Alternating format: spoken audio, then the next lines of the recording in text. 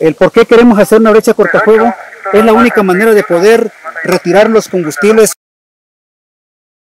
La brecha cortafuego es con el fin de retener la velocidad y propagación del fuego.